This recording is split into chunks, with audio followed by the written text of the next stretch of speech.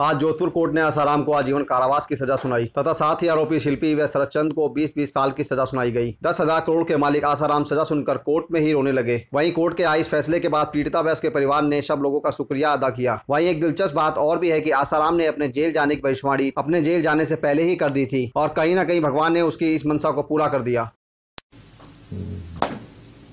मेरा संकल्प होता है वो देर सवेर भगवान फलीभूत करते मेरे को तिहाड़ जेल में जाने का भी संकल्प हो रहा है, सच बोलता हूँ। अब क्या पता किस निमित्त से जाऊँगा? ऐसे ही जाऊँ, नहीं तो महीना दो महीना सरकार ऐसा कोई योजना कर देवे, मेरे को रहने दे तिहाड़ जेल में। सारा जेल बदल दूँ। नहीं जाऊँ। हैं? तो साबरमती में जाऊँ? मेरे मन में हो रहा है कहीं नानक जी दो बार जाके आए तो अपन भी उधर का मज़ा ले लें।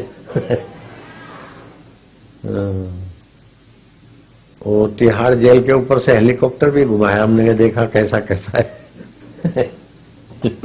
बाहर से तो चार दीवारी ऊपर से कौन रोके? मैं हेलीकॉप्टर वाले को बोला, जरा राउंड ले ले। बोले, बापू, वो तिहाड़ जेल है। मैं क्या जरा ले उधर। कभी आने का सोच रहा है तो कैसे आऊँ?